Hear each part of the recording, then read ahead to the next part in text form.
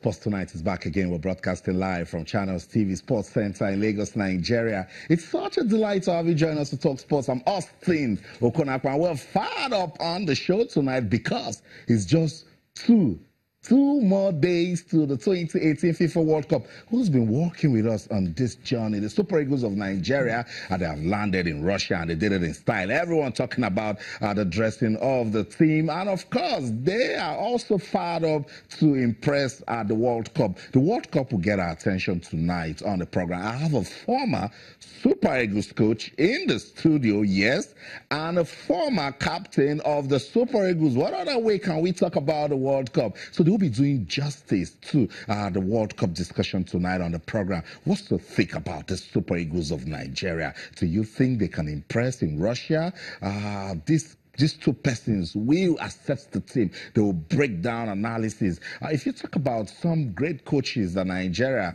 have had back in the day, there is no way you will not mention our guest tonight on the program. I won't let him out yet. I will not let him out yet. I want you uh, to be part of everything I'll be doing tonight on the program. I don't want to talk too much on the show. I just want to hear from you. Two more days to the World Cup. Now you know it's real. The World Cup is upon us. What are your expectations? What do you expect? Expect from Coach Gernot Rohr and his team now? What should they start um, uh, perfecting? The strategies, is it tactics? Uh, do you like what happened uh, for uh, the friendly game? So much talking points. It's the World Cup, and you know when it's the Super Eagles of Nigeria, then it's big, big deal. Let's let's hear from you tonight on the program. Talk to us our feedback mechanisms, they're still the same on Twitter, channels underscore sports, Facebook, channels I think sports. You can also send an email to sports tonight at channelstv.com. I want you to be part of the program today because I will be throwing your questions to this former Super Eagles coach and, of course,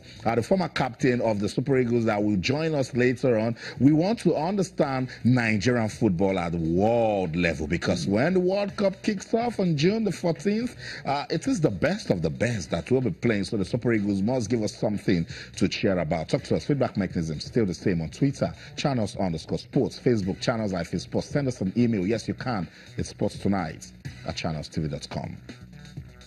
It doesn't end there. All our top stories can be viewed on our website, it's channelstv.com, and on YouTube, our forward slash channels web. If you log on to m.channelstv.com, you should be able to download the Channels TV app for any of those devices you see right there your iPad, your iPhone, your Blackberry, your iOS, your Windows phones, and your Android phones can also do it. We want you to uh, keep up with the pace because it's a racy, pacey, action packed world of sports. So much is going down. Two more days one, two, and the World Cup is here.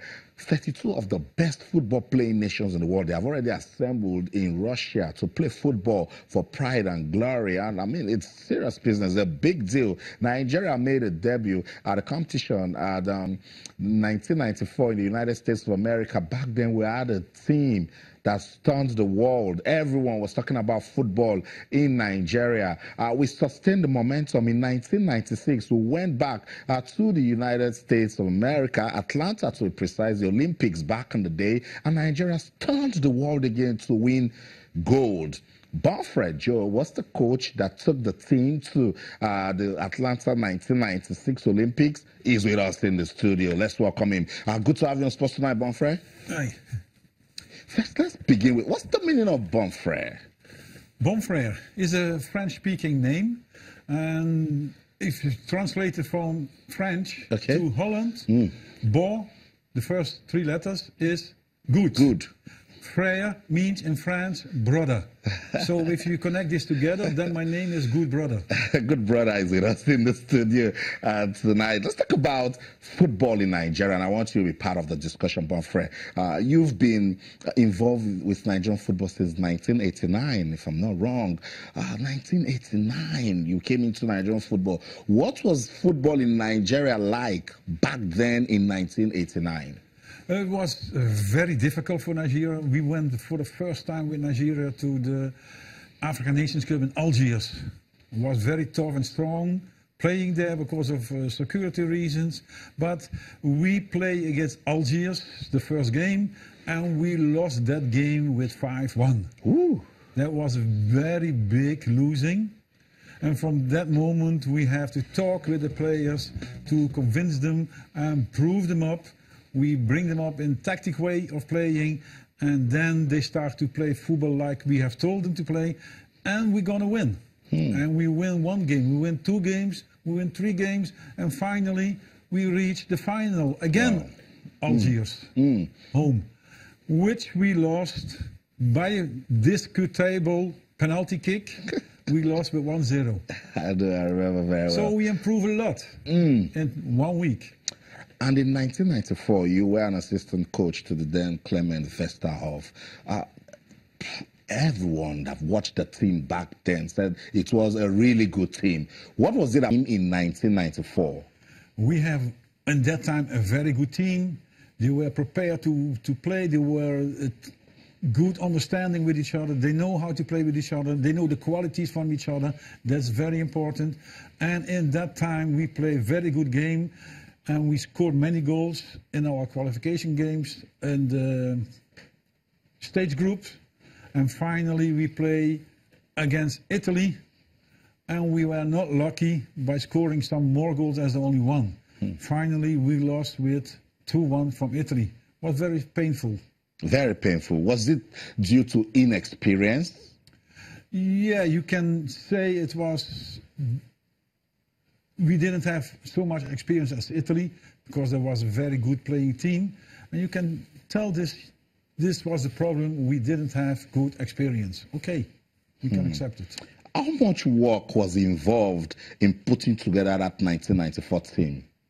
It was a lot of work to bring all these players together because m- many players were playing in Europe, and we have also a training camp in Europe. Then we came to Nigeria, and then we left to the 1994 World Cups to do a good preparation in the US, which we have done also. That's why we play very good against opening game against Bulgaria. Hmm. We beat them with 3-0.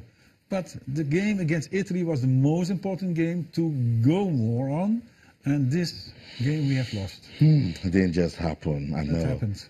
Sometimes. I know. That's football for you. Yeah. You never see where it's going to, Bonfrere. Um, that's 1994 team because arguably that's the best team that has been assembled in Nigeria. That 1994 team. What was the main strength of the team? We have trained them very well in power, in fitness. And when you have a good fitness, you can play very well. If you have no fitness, you cannot make a dribble, you can make a run, you can make a, a shooting. You get tired very fast. And when you get tired, your concentration will lose.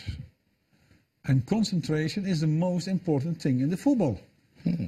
Yeah, not one player can play 45 minutes 100% concentration. Even Messi cannot do that. Yeah, so if you can have a good concentration in your first half from 30, 35 minutes, you have a very good game. And then you have to load up in the halftime again your concentration for the second half. But not one player can play 100% 90 minutes concentration. No way.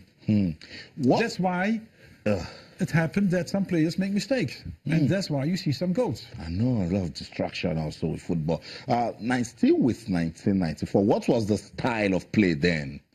We play uh, a 4-4-2 system, what many teams played at that time. We have the players to play this. We have convinced the players that we're going to play this. And also we have told the players when he is doing this, you know the quality from this player and you can support him in this way or this way. So we have told all the players what they can do when one player have the ball or when he must do defending or when he must run free in the space. God bless his soul. Tell me, how much of a talent was Rashidi Yekini? He was a very great uh, player. He was hungry to score goals. And when a striker is hungry to score goals, same as Daniel Mokachi, he's always hungry to score goals, you have a very good striker. Daniel Amokachi, Rashidi Yekini. On the left, Emmanuel Amunike. On the right, Finidi George. And sometimes you have Samson Siasia coming in into that mix. That was arguably the most dangerous forward lineup in the world. Yeah, because we have players, they have all speed, they have all technique, and they fight all together. And that make them very dangerous. Every player who have the ball could make a dribble, could beat the defender from the opponent. And when you can beat the opponent from your opponent, you have always one player more in the next line. It hmm. starts already with your defense line. Hmm. When you bring the ball over the attackers from the opponent, you have one man more in the midfield. Can you bring the ball as midfield player over your players from the midfield? You have one more more in the attack. Hmm. And this is what you have to teach your players if you can win one against one. And we have players in that team who can do it. Amunike could do it. Amokachi could do it. Rashid Katina could do it. Samson could do it. Finidi George could do it. And they could also give a good cross pass. Yeah. So that was a very dangerous attack. And they can hurt any defense. It was just three of them against Argentina. Yes, Nigeria lost 2 1, but I remember so clearly just three of them. They broke down five man Argentine defense Rashidi Yekini, Daniel Amokachi, and Samson Siasia. Yeah, like I mentioned already, we have the qualities to do that. And you have to convince the player, even when he thinks, coach, this defender is very strong. I tell them, you can win from him. Go use your qualities. You have your quality to go on the right side, you have the quality on the left side, which I know from the player. So I convince him that he can do it left or right, or even with a combination with the other one who's coming support him. This is what you have to tell your players. Make them stronger and let them believe in their qualities. And, uh, we have Bonfrere Jo, our former coach of the Super Eagles, in the studio with us. And I want you to be part of the program. Talk to us on Twitter, channels underscore sports, Facebook, channels iPhone sports. We're having fun going back in the day of what football was like in Nigeria. So I, I want to hear from you. If you also have questions for the coach, keep them coming. That's it right there. Twitter, channels underscore sports, Facebook, channels iPhone sports. Uh, Bonfrere, we love the 1994 story, but 1996 was sweeter. Tell me what happened in Atlanta. Uh, in Atlanta, we have a very good team. Young team with three overage players, but that was a lot. Everybody have this.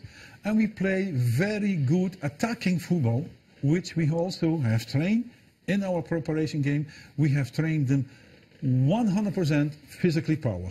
That's what I have done some weeks before the opening of the game from us. But the last 10 days, we did only tactical way of playing with them to give them trust on the ball, to give them confidence on the ball, and let them play one-two combination, playing the ball in front, don't play the ball back. If you see one player in front is free, pass him the ball, support him, other one player also, and this bring you in front, and we have chance to score goals. I know. Against Brazil, was it luck or strategy that won that match? I think uh, the first half we made the mistake, so Brazil could score three goals. We have made that mistake by ourselves, and that's why I say in halftime we're going to win this game, and Brazil have scored only three goals by luck. So in the last 20 minutes, I changed the strategy. We play with four midfield players, one more. Oruma Wilson was going to the midfield. I take the right defender out. So um, Babangida and Fatusi must stop uh, the left defend, left attacker, left defender from Brazil, mm-hmm. so we can go and keep on in the attack. So it was not luck, even when I say it now, and at that time I believe it also. Hmm. If the game was not by the golden goal, and we have to play 20 minutes longer, I tell you and I guarantee that we have scored more goals. Because Brazil was completely dead. and we have the power to go on. So you've heard it. Uh, that argument went on for a very long time. That it was luck that uh, that is, uh, the Nigerian team used in beating Brazil at the 1996 Atlanta. No, Bonfrere just says no. And, and if that game had gone further, they would they would still get more goals. Sports tonight on Channels Television. Let's go on this break. When we come back, why does Bonfrere love Nigerian football so much? He's here. He will tell us. Don't go anywhere. Peace.